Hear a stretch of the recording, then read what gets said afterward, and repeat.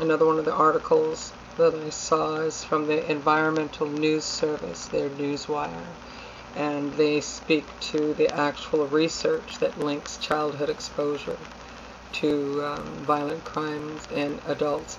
This particular study is out of Cincinnati, Ohio, and this was just published the 28th of this month. Speaks to the high levels of lead in blood in the blood of fetuses and young children um, that they're now linking for the first time to higher rates of criminal arrest in adulthood. Uh, they're just now, there's just brand new research based on the long-term data from childhood lead studies in Cincinnati.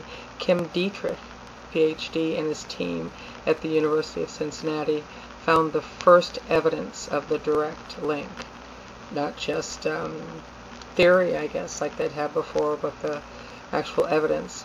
Previous studies either relied, well, as it says here, on indirect measures of exposure and, um, and also failed to follow subjects into childhood, into failed to follow the subjects into adult, adulthood to examine the relationships between lead exposures and criminal activities in young adults. We have monitored this specific segment of children who were exposed to lead both in the womb and as young children for nearly 30 years, he says. We have complete records of neurological, behavioral, and developmental patterns to draw a clear association between early life exposure to lead and adult criminal, criminal activity. This is so deep, it makes you wonder um, what else is out there in our what else is going on out there. We know there's cancer pockets because of the refineries that are usually put in communities of color in uh, the Bay Area in the city of Emeryville which used to be mostly community poor, lower income community of color.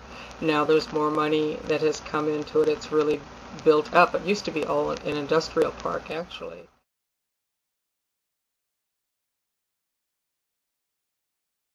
But now there's big money in there and they just built a Cineplex and a whole avenue of from Victoria's Secrets to Baby Gap. And one of the things that they found while they were building all of these new businesses is that because of the Stanley Williams paint factory that used to be there, uh, I guess up until maybe the 50s, and all the toxins that they just dumped into the ground, they're finding that it was actually a Ohlone Indian shell mound and burial ground, ground burial ground, but the bones in the burial grounds are rubbery. They can actually bend them because of all the chemicals. And who knows how many generations. Well, you know, a whole generation of kids grew up, poor kids, poor urban kids, grew up in that area. I used to work in that area, and I know there was a rendering plant there at one time also. It was just so gross during lunchtime. You'd kind of start get this whiff first of maybe, uh, kind of barbecue and then pork and then it would take off in a whole other direction and you knew that they were the animal control center had just dropped off a, another load of animals to be rendered um, so heaven knows what those children were exposed to back there and as far as lead children can be exposed from eating lead-based paint chips or playing in contaminated soil um, lead can damage the nervous system, the kidneys, and the reproductive system. Aggressive or violent behavior patterns often emerge early and continue throughout life, Dietrich, Dietrich says. Identifying the risk factors may place that may place youth on the early path.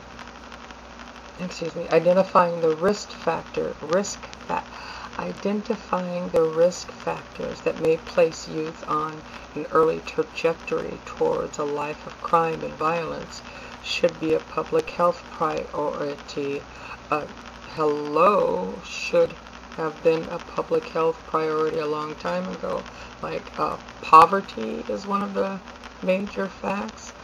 And not to say that all people are poor are going to end up, all children raised poor end up um, violent or, you know, doing criminal acts. There's a, a, a lot of love also in the poor areas, a lot of love and families that are intact and are making sure that their children grow up by with the values that have them going on completing high school and going on to college. We've got to remember that that this is not a automatic um, this is not automatic although sure neurological damage is neurological damage um, so this I don't know this was this was all very interesting and I hadn't heard anything if anyone any of you have I'd like to hear if anyone else has heard anything about this and if anybody has any thoughts